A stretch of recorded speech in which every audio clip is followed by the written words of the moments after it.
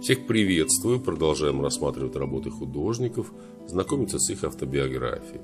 Роберт Гиб, британский шотландский художник, который был действительно членом Королевской шотландской академии с 1881 года, главным хранителем Национальной галереи Шотландии с 1895 по 1907 год и носил почетный титул придворного художника короля с 1908 года до своей смерти.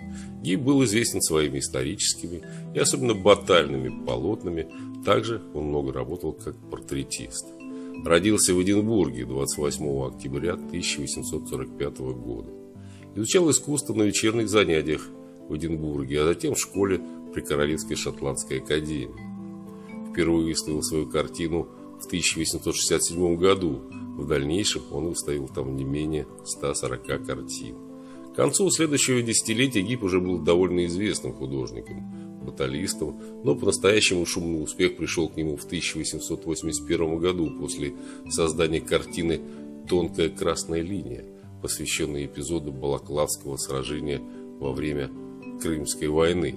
Именно после этого Роберт Гиб был избран полноправным членом Шотландской академии.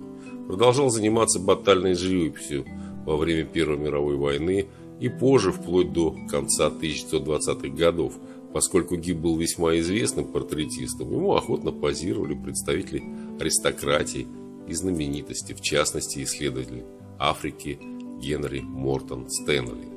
Когда в 1932 году художник скончался в родном Эдинбурге, то его хоронили на кладбище Уоррилстоун по регламенту для военачальников с участием почетного караула.